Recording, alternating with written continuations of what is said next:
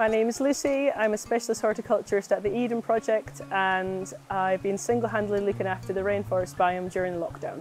This biome is the largest rainforest in captivity. We have around 1,200 different plant species from all over the world.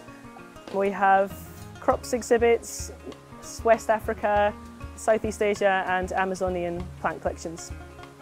My typical day would start with feeding the rules, our resident partridges, and then I'll be watering, doing some tree safety work and also some cultural control, taking down some of our older leaves to keep pests under control. We spent the last few months installing a new automated irrigation system which has been incredible. I can work it from my phone and it keeps almost the whole biome watered during these hot weeks. During the lockdown, people have spent a lot of time outdoors becoming acquainted with nature and that's really what Eden is all about. I hope after lockdown is over, people will come back to Eden and view our collection in our gardens from a new perspective.